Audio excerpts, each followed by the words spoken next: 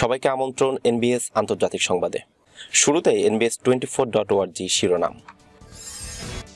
সেপ্টেম্বরে সতেরো হাজার সেনা হারিয়েছে ইউক্রেন। বিদেশে অর্থ স্থানান্তরের উপর বিধিনিষেধ বাড়ালো রাশিয়া। রাশিয়ার স্টিকার বন্ধ করতে যাচ্ছে ইউরোপীয় ইউনিয়ন। রাশিয়ার নতুন স্কিম বাতিল করল হোয়াটসঅ্যাপ। কানাডা সংসদে ইউক্রেনীয় নাৎসিদের অভিবাদন জানানো কোনো দুর্ঘটনা ছিল না।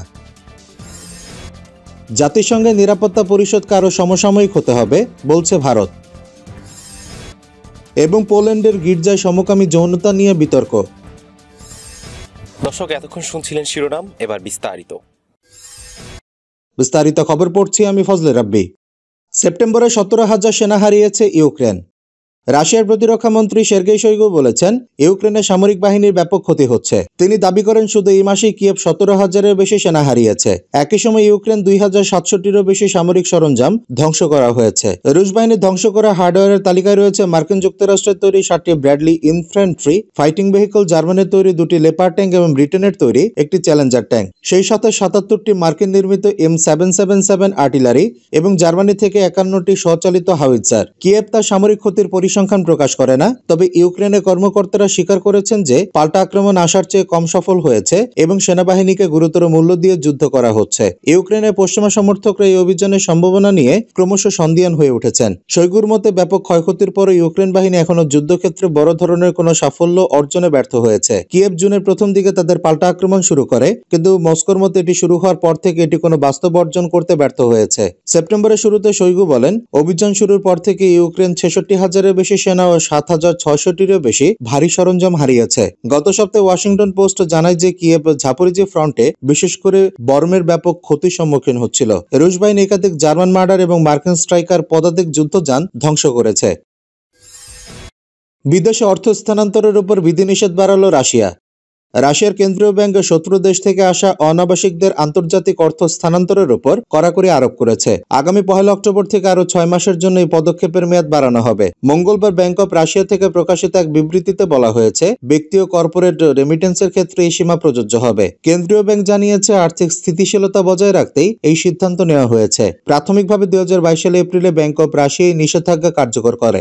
গত মার্চে শেষ দফার মেয়াদ বাড়ানো হয়। একটি সরকারি ডিগ্রি অনুযায়ী পেমেন্ট অবশ্যই বিশেষ ব্যাংক অ্যাকাউন্টে জমা দিতে হবে, যা রুবেলের মাধ্যমে এবং বিশেষ অনুমোদন ছাড়া বিদেশে পাঠানো যাবে না। বন্ধুত্বপূর্ণ রাজ্যের অধিবাসী এবং অনাবাসীরা, অর্থাৎ যারা নিষেধাজ্ঞা আরোপ করা থেকে বিরত রয়েছে, তাদের প্রতি মাসে সর্বোচ্চ এক মিলিয়ন ডলার বিদেশে প্রেরণ করার অনুমতি দেওয়া হয়েছে। মানি ট্রান্সফার সিস্টেমের জন্য সর্বোচ্চ অনুমোদিত পরিমাণ দশ হাজার মার্কিন ডলার। রাশিয়া নিযুক্ত অনাবাসিক ব্যক্তিরা, বন্ধুত্বপূর্ণ বা অবন্ধুত্বহীন রাজ্যগুলি থেকে হোক না কেন, তাদের মাসিক বেতন বিদেশে স্থানান্তর করার অনুমতি দেওয়া হয়। পশ্চিমা আর্থিক প্রতিষ্ঠানগুলো তাদের রাষ্ট্রীয় তহবিল জব্দ করার প্রতিক্রিয়ায় রাশিয়া এক বছর আগে আন্তর্জাতিক আমানতকারীদের সম্পদ স্থগিত করে। ইউরোক্লিয়ার এবং ডয়চে ভোর্টস গ্রুপের আর্থিক প্রতিবেদন অনুযায়ী, মস্কো, বেলজিয়ামের ইউরোক্লিয়ার এবং লুক্সেমবার্গ ক্লিয়ার সিস্টেম এবং ক্লিয়ারিং হাউসের দুশো উনত্রিশ দশমিক এক বিলিয়ন রুবল বা দুই দশমিক তিন বিলিয়ন ডলার মূল্য সম্পদ ফ্রিজ করেছে।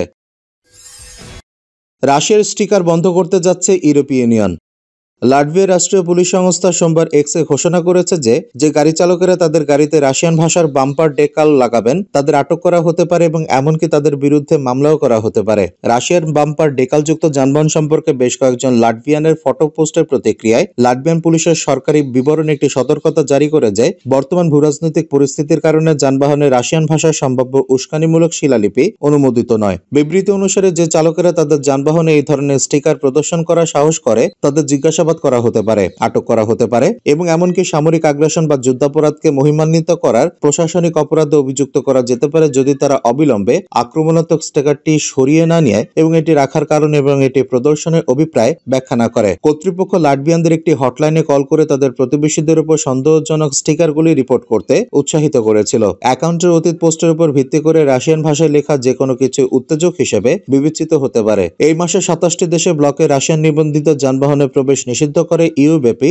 নিষেধাজ্ঞাগুলি গ্রহণের প্রতিক্রিয়ায়। লাটভিয়া এস্তোনিয়া এবং লিথুয়ানিয়া তাদের সীমান্তে রাশিয়ান লাইসেন্স প্লেট সহ সমস্ত যানবাহন ফিরিয়ে দিতে শুরু করে। নিষেধাজ্ঞার প্রতিক্রিয়ায় মস্কো, ব্রাসেলস থেকে কূটনীতিকদের প্রত্যাহার এবং ইউরোপীয় ট্রাফিকের উপর একই ধরনের বিধিনিষেধ আরোপ করার হুমকি দিয়েছে। গত বছর লাটভিয়া জেট এবং ভি অক্ষরের প্রকাশ্য দর্পণকে এই ভিত্তিতে নিষিদ্ধ করেছিল ইউক্রেনের সংঘাতে রাশিয়ান বাহিনী তাদের ব্যবহার যুদ্ধাপরাধ এবং সামরিক আগ্রাসনকে মহিমান্বিত করেছিল। রাশিয়া ব্যবহৃত সিরিলিক বর্ণমালায় নেই, এমন রোমান বর্ণমালার শেষ অক্ষরটি জনসম্মুখে প্রদর্শন করলে লাতভিয়ানদের জন্য চারশো ইউরো এবং ব্যবসায়ের জন্য তিন হাজার দুইশো ইউরো পর্যন্ত জরিমানা হতে পারে। উপরন্তু প্রাক্তন সোভিয়েত প্রজাতন্ত্র, সোভিয়েত সেনাবাহিনীকে সম্মান জানিয়ে যে কোনো স্মৃতিস্তম্ভের দুইশো মিটারের মধ্যে জনসমাগম নিষিদ্ধ করেছিল। ইউক্রেনের পররাষ্ট্রমন্ত্রী দিমিত্রি কুলেবার সমস্ত দেশকে চিঠির ব্যবহারকে অপরাধীকরণ করার আহ্বানের প্রতিক্রিয়ায় এই আইন প্রণয়ন করা হয়েছিল, যা তিনি রাশিয়ার বর্বরতার সমর্থনের সাথে তুলনা করেছিলেন। লাটভিয়া প্রথম দেশ যা মেনে নেয়, লিথুয়ান এবং এস্তোনিয়া এক মাসেরও কম সময়ের মধ্যে অনুসরণ করে সোভিয়েত বিজয় পথকে চিত্রিত কালো এবং কমলা সেন্ট জর্জের ফিতাও নিষিদ্ধ করে। রাশিয়ার নতুন স্কিম বাতিল করল হোয়াটসঅ্যাপ। সোমবার মস্কো টাইমসের এক প্রতিবেদনে মেটার মুখপাত্রে বরাদ দিয়ে বলা হয়, মেসেঞ্জার হোয়াটসঅ্যাপের রুশ ব্যবহারকারীরা নতুন কোনো ফিচারে প্রবেশাধিকার পাবেন না। এতে তারা মিডিয়া চ্যানেল তৈরি ও দেখার সুযোগ পাবেন। তবে ফিচারটি বিশ্বের দেড়শোটি দেশে চালু করা হবে বলে জানিয়েছেন সংস্থার মুখপাত্র। জুন মাসে এক ব্লগ পোস্টে হোয়াটসঅ্যাপ চ্যানেলকে অ্যাডমিনদের জন্য টেক্সট, ছবি, ভিডিও স্টিকার এবং পোল পাঠানোর একমুখী সম্প্রচার মাধ্যম হিসেবে বর্ণনা করেছে। এই প্ল্যাটফর্মটি সেলিব্রিটি, ক্রীড়া দল, শিল্পী, স্রষ্টা এবং চিন্তা নেতাদের আমন্ত্রণ জানিয়েছে নতুন বৈশিষ্ট্যের সুযোগ নিতে। মস্কো টাইমসের খবরে বলা হয় ফেসবুক ইনস্টাগ্রামের মতো রাশিয়া ব্লক হওয়া এড়াতে এই ফিচারটি বাতিল করার সিদ্ধান্ত নিয়েছে মেটা রাশিয়া নাগরিকদের বিরুদ্ধে বিদ্বেষমূলক বক্তব্য দেওয়ার অনুমতি দেওয়া রাশিয়া ইউক্রেনের মধ্যে দ্বন্দ্ব সম্পর্কে মস্কো যা মিথ্যা তথ্য বলে মনে করেছিল, তা বিতরণ করার জন্য মেটাকে চরমপন্থী সংগঠন হিসেবে মনোনীত করার পরে দুটি অ্যাপই নিষিদ্ধ করা হয়েছিল। সেই সময় আইন প্রণেতারা হোয়াটসঅ্যাপের জন্য একটি ব্যতিক্রম করেছিলেন। যুক্তি দিয়েছিলেন যে বার্তাবাহক তথ্য পোস্ট করার চেয়ে যোগাযোগের একটি মাধ্যম। কানাডা সংসদে ইউক্রেনীয় নাৎসিদের অভিবাদন জানানো কোনো দুর্ঘটনা ছিল না। কানাডা পার্লামেন্ট সম্প্রতি একজন সাবেক ওয়াফেন এসএস এর নাৎসিকে স্ট্যান্ডিং ওভেশন দিয়েছে, যা এখন ইন্টারনেটে ছড়িয়ে পড়েছে। ইউক্রেনের প্রেসিডেন্ট ভলোদিমির জেলেনস্কি কানাডা সফরের সময় এবং তার পূর্ব অনুমানযোগ্য বোমাবাজিপূর্ণ প্যান হ্যান্ডেলিং বক্তৃতা অনুসরণ করে হাউস স্পিকার অ্যান্থনি রোটা ওই দিন পার্লামেন্টে ইউক্রেন কানাডিয়ান এক নাগরিকের প্রশংসায় পঞ্চমুখ হন। ইউরোস্লাভ হুঙ্কা, দ্বিতীয় বিশ্বযুদ্ধ সময়কার একজন নাসি তাকে ইউক্রেনিয়ান হিরো বলে একজন কানাডীয় নাগরিক এবং তার সেবার জন্য তাকে ধন্যবাদ। দুদিন পর রোটা লোকটির প্রশংসা করার জন্য একটি ক্ষমা প্রার্থনা জারি করেন। ব্যাখ্যা করেন যে তিনি গ্যালারিতে একজন ব্যক্তিকে স্বীকৃতি দিয়েছে এবং তারপর থেকে তিনি আরও তথ্য জানতে পেরেছেন যা আমাকে সিদ্ধান্তের জন্য অনুশোচনা করে। রোটার দাবি সত্ত্বেও তিনি যে হুনকার নাৎসি পরিষেবা সম্পর্কে অজ্ঞ ছিলেন, কারণ তিনি রুশদের বিরুদ্ধে ইউক্রেনীয় স্বাধীনতার জন্য লড়াইয়ের জন্য হুনকার প্রশংসা করেছিলেন। রোটা বলেন, সাথী সাংসদ এবং ইউক্রেন প্রতিনিধি দল সহ কেউ আমার উদ্দেশ্য বা মন্তব্য সম্পর্কে অবগত ছিলেন না। কানাডার প্রধানমন্ত্রী জাস্টিন টুডোর কার্যালয় হুনকা এবং তার নাৎসি পরিষেবা সম্পর্কে কোনো জ্ঞান অস্বীকার করে বলেছে। স্পিকার শুক্রবারের ভাষণে অতিথি আসনের নিজস্ব বরাত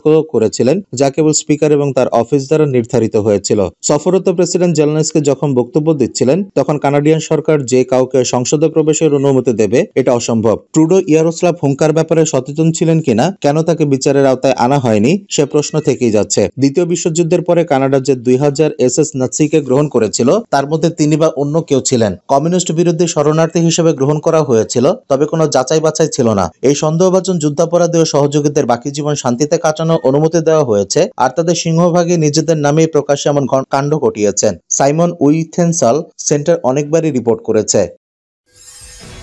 জাতিসংঘের নিরাপত্তা পরিষদকে আরও সমসাময়িক হতে হবে, বলছে ভারত।